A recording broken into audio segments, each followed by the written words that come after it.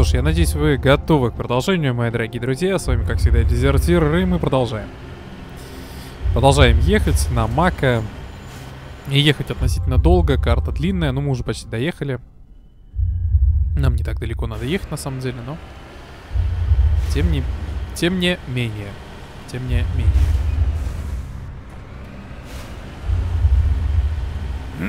Как говорится, нашел на ровном пути кочку, как всегда. Что происходит? Это ловушка. Сарен подстроил нам засаду. Не думаю, что за этим стоит Сарен.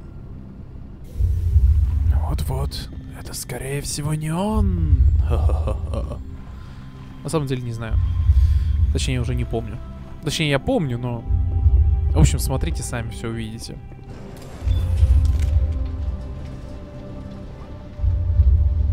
Так, нас ну, выбрасывают на лифт. Должны спуститься вниз. Собственно, там нас... Как по-вашему, что, что мы тут найдем? Если это было оставлено здесь для нас, вероятно, это что-то полезное. Особо не надейся. Мы можем рассчитывать только на себя. Не совсем так. Есть кое-что интересное. Итак, страж. Кто же это? Что же это? Смотрим. Вы не протеане, но и не машины. Эта вероятность также была предусмотрена среди прочих. Поэтому мы оставили предупреждение с помощью маяков. Похоже, это какая-то ВИ-программа, причем сильно поврежденная. Я не ощущаю ни в одном из вас следов внушения, в отличие от тех, кто недавно проходил здесь. Возможно, надежда еще есть. Погодите минутку. Как получилось, что я вас понимаю? Почему вы говорите не на протеанском языке? Я отслеживал ваши переговоры с момента, как вы вошли в комплекс. Я перевел свою речь в понятный для вас формат. Я страж. Здесь вы в безопасности. Пока. Но все может измениться. Скоро безопасности не будет нигде. Вы какая-то программа искусственного интеллекта? Я не органическая аналитическая система, несущая слепок личности Ксада и Шана, главного смотрителя исследовательского комплекса на Иле. Зачем вы меня сюда привели? Вы должны нарушить цикл, продолжавшийся миллионы лет. Но чтобы его прервать, вы должны сначала понять его, или вы совершите те же ошибки, что и мы. Цитадель — сердце вашей цивилизации, столица вашего правительства. Тем же самым она была и для нас, и для всех, кто был до нас. Но Цитадель — это ловушка. Эта станция — огромный ретранслятор. Он ведет в темный космос, пустую бездну за горизонтом галактики. Когда ретранслятор включится, оттуда выйдут пожинатели. Все, что вы знаете, будет уничтожено. Почему никто не замечает, что Цитадель — это отключенный ретранслятор? Пожинатели позаботились о том, чтобы скрыть главные секреты Цитадели. Для этого они создали органическую расу якобы мирных хранителей. Хранители поддерживают основные функции станции. Они позволяют всем расам, которые найдут Цитадель, пользоваться ею без полного понимания ее технологий. Все расы полагаются на хранителей — и это обеспечивает то, что они не могут раскрыть подлинную природу цитадели, пока ретранслятор не включается и не приходят пожинатели. Как пожинатели выживают в темном космосе? У нас есть только теории. Здешние ученые пришли к выводу, что для сохранения энергии пожинатели входят в длительные фазы бездействия. Это позволяет им прожить тысячи и тысячи лет пока не восстановится органическая цивилизация. Но в этом состоянии они уязвимы. Уходя за пределы галактики, они добиваются того, чтобы никто случайно не наткнулся на них. Их существование остается тайной, пока не включается ретранслятор Цитадели. Пожинатели смогут уничтожить Совет и весь флот Цитадели одним неожиданным ударом. Такова была и наша судьба. Наши предводители погибли прежде, чем мы успели понять, что атакованы. Пожинатели захватили контроль над цитаделью, а через нее и над всеми ретрансляторами. Связь и перевозки по всей нашей империи были нарушены.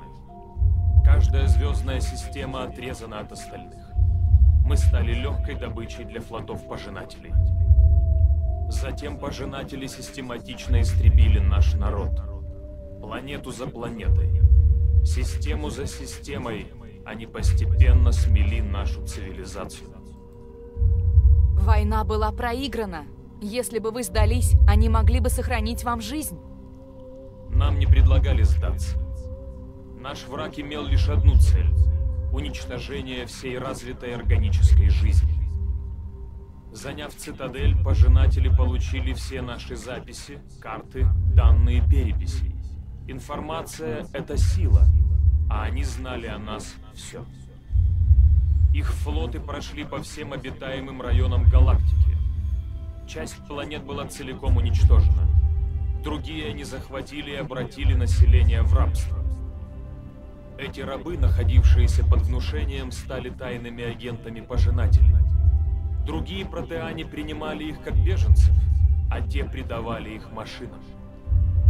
За несколько столетий пожинатели убили или поработили всех протеан галактики. Они были жестоки, безжалостны и неумолимы. Я не понимаю, куда же делись пожинатели после того, как завоевали ваш народ?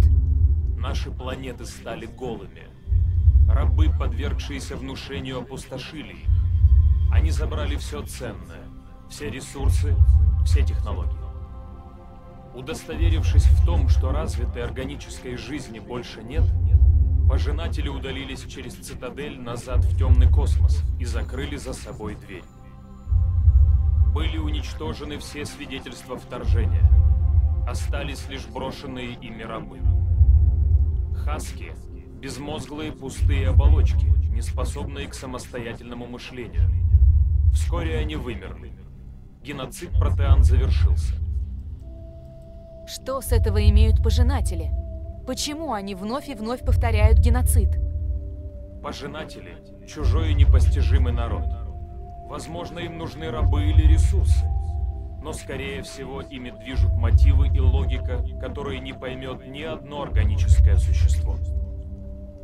В конце концов, важно ли это? Чтобы выжить, вам надо остановить их, а не понять их. Вы сказали, что привели меня сюда с какой-то целью. Скажите, что я должна сделать? Канал — это ключ. Накануне нападения пожинателей мы, протеане, были на грани того, чтобы раскрыть тайну технологии ретрансляторов. Ил был сверхсекретной базой. Здесь наши ученые пытались воссоздать ретранслятор в миниатюре. Он был напрямую связан с цитаделью, узлом сети ретрансляторов. Канал — это не оружие. Это потайной ход на цитадель. Как вам удалось остаться ненайденными? Официальные данные о нашем проекте были уничтожены в начале нападения на цитадель. Протеанская империя рухнула, но Ил уцелел. Мы прерывали все сообщения с внешним миром и погрузились во мрак. Персонал ушел под землю в эти архивы. Целях экономии ресурсов все погрузились в анабиоз. Меня оставили следить за происходящим и пробудить сотрудников, когда опасность пройдет. Но уничтожение целого вида — это длительный процесс. Шли годы, десятки лет, сотни. Пожинатели не уходили, а мои запасы энергии убывали. Надо было сражаться. Нас было несколько сотен против галактического флота вторжения. Единственная надежда была на то, что нас не обнаружат. Я стал отключать жизнеобеспечение тех, без кого можно было обойтись, начиная с младшего персонала, одного за другим. Это позволило сэкономить энергию. В конце концов остались лишь анабиозные камеры главных ученых, даже им уже грозила опасность, когда пожинатели наконец ушли через ретранслятор цитадели. Там были сотни анабиозных камер. Вы просто их все отключили? Вы убили их? Вы были запрограммированы защищать их, а не убивать. Такой исход тоже предусматривался. Мои действия — результат условий, заложенных в программу при моем создании. Спорим, тем, без кого можно обойтись. Об этих условиях не сказали. Я спасал ключевой персонал. Когда пожинатели ушли, главные ученые были еще живы. Мои действия — единственная причина, по которой сохранялась какая-либо надежда. Когда ученые пробудились, они поняли, что протеанская раса обречена. Нас осталось всего несколько десятков, слишком мало, чтобы поддержать жизнеспособную популяцию. Но они поклялись найти способ не дать пожинателям вернуться, навсегда прервать цикл. Им было известно о роли хранителей. Я так и не могу понять, что здесь происходит. Почему Саран пытается найти канал? Канал даст ему доступ к цитадели и хранителям. Хранителями управляет цитадель. Каждый раз перед вторжением через станцию проходит сигнал, который заставляет хранителей включить ретранслятор. После долгих лет напряженных исследований ученые нашли способ изменить этот сигнал. С помощью канала они получили доступ к цитадели и произвели необходимые модификации. На этот раз, когда Властелин послал сигнал на цитадель, хранители проигнорировали его. Пожинатели заперты в темном космосе. У Сарана должен быть какой-то план, чтобы исправить все, что вы сделали. Тот, кого вы называете Сараном, использует канал, чтобы обойти систему защиты цитадели. Оказавшись внутри, он передаст управление станцией Властелину. Властелин отключит системы цитадели и вручную включит ретранслятор. Цикл уничтожения начнется вновь. Есть какой-то способ их остановить? В моей консоли есть файл с данными. Возьмите с собой его копию. Когда доберетесь до главного пульта цитадели, загрузите файл туда. Он нарушит протоколы безопасности цитадели и временно даст вам контроль над станцией у вас может появиться шанс против Властелина. Погодите, где находится главный пульт цитадели? В первый раз о нем слышу. Воспользуйтесь каналом. Следуйте за Сареном. Он приведет вас к пульту. Если пожинатели заперты в темном космосе, как Властелин оказался здесь?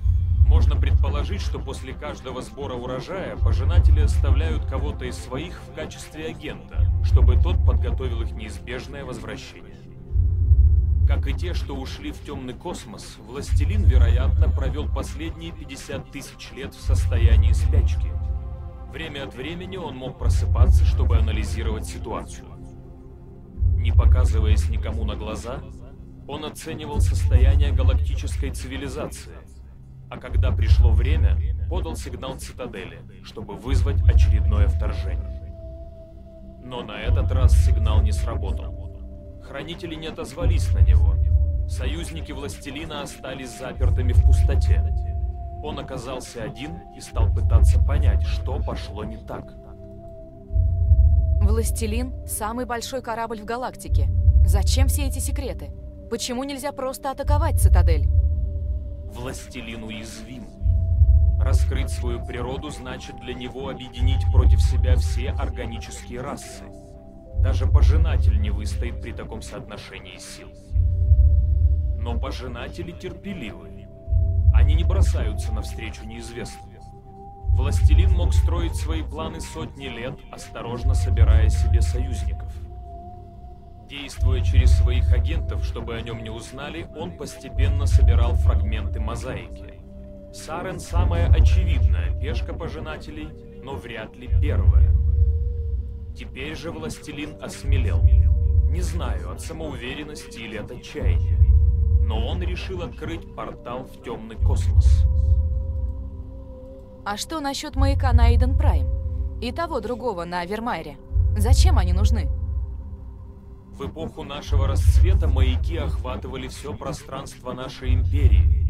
Они составляли единую общегалактическую сеть для быстрой передачи данных с планеты на планету. Во время вторжения практически все маяки были уничтожены. Но как только пожинатели ушли, те, кто выжил на Иле, решили рискнуть и отправить сообщение. Мы знали, что скорее всего больше никого не осталось. Но если вдруг был кто-то еще, мы хотели сообщить им о быле, дать им надежду. Поэтому по сети было отправлено сообщение. А вас могли узнать пожинатели. Вообще-то мы сомневались, что хоть один маяк еще действует, но попробовать было нужно. Если были еще выжившие, мы должны были с ними связаться. Сообщение предназначалось для представителей нашего народа. Его код могло понять только органическое существо. Мы все еще не понимали силу внушения. Нам было невдомек, что сообщение может привести на эту планету агента машин, такого как Сарен. Но также оно привело сюда и вас. Так что, возможно, мы все же не ошиблись.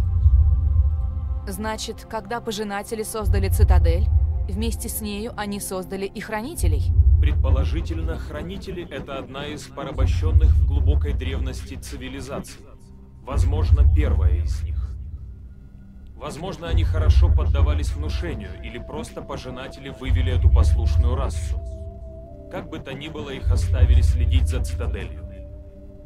Но теперь хранители уже не находятся под прямым контролем властелина. Они эволюционировали так, что откликаются лишь на сигналы, издаваемые самой цитаделью. Когда протеане изменили сигналы цитадели, им удалось освободить хранителей от власти пожинателей. Они стали совершенно безвредны. Властелин, должно быть, понял, что органическими расами слишком сложно управлять. Это правдоподобная гипотеза. Хранители эволюционировали в неожиданном направлении. Неорганические слуги, такие как геты, более предсказуемы. Что стало с выжившими протеанскими учеными?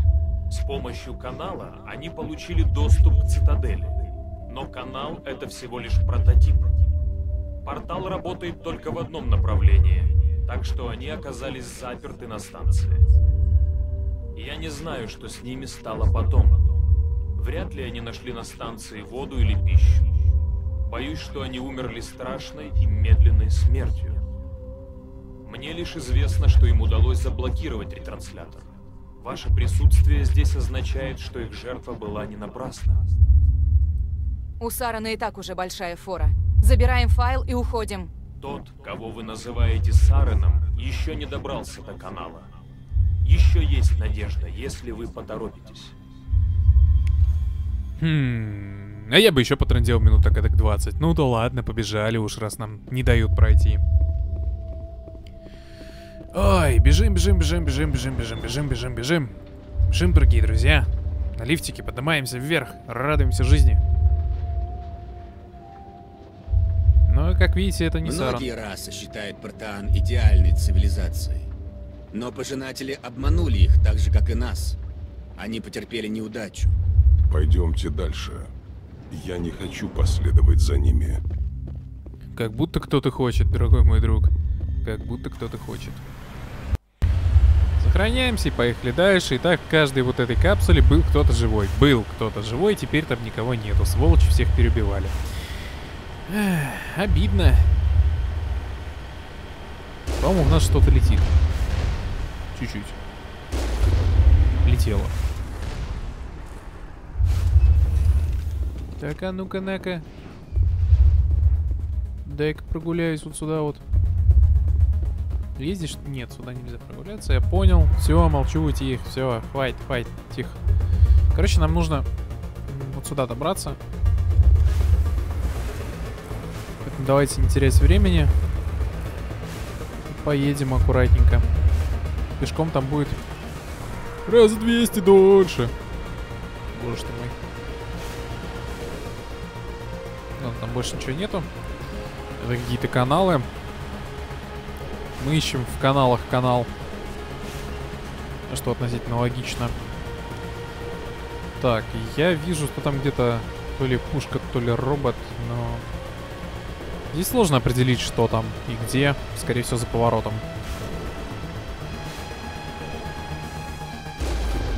То есть как бы вот там.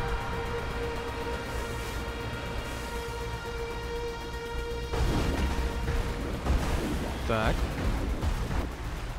Так. Перезаряжаемся. Если бы мы не устранили опасность ранее... у нас были бы некоторые проблемы. Сейчас у нас особых проблем нет. Потому что танки в большинстве своем отключены, танков нету, все хорошо. И, кстати, еще одна фишка, которую можно делать, это уничтожать всю эту гадость при помощи винтовок. И довольно хорошо она, по-моему, уничтожается, насколько мне изменяет память.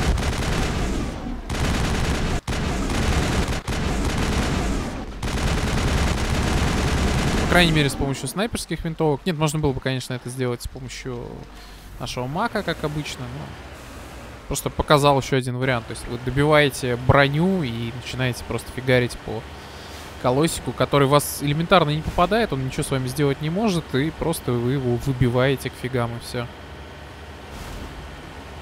Ладненько. Что я, собственно, хочу сделать? Давайте доедем уже до нужного места и завершим, наконец-то, главу а, прохождения Mass Effect 1.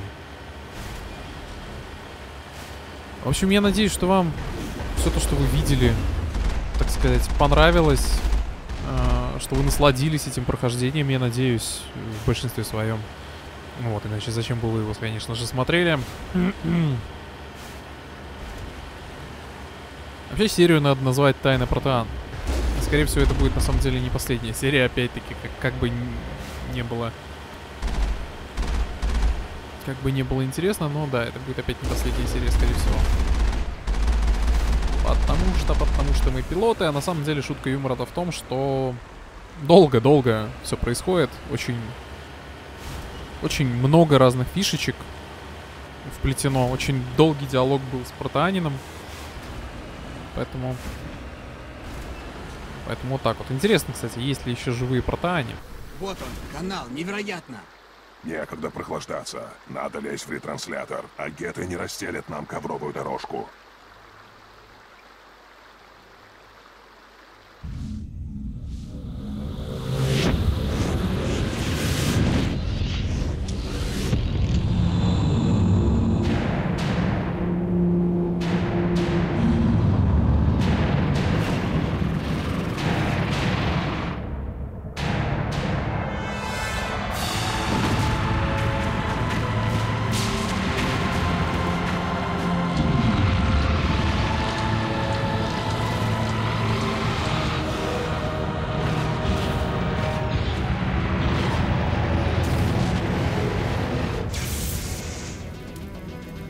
Включить защиту! Закрыть станцию! Лучи не двигаются! Системы не отвечают!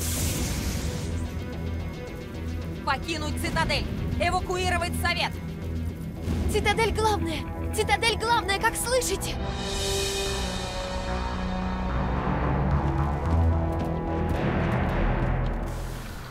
Ну, поняли, да?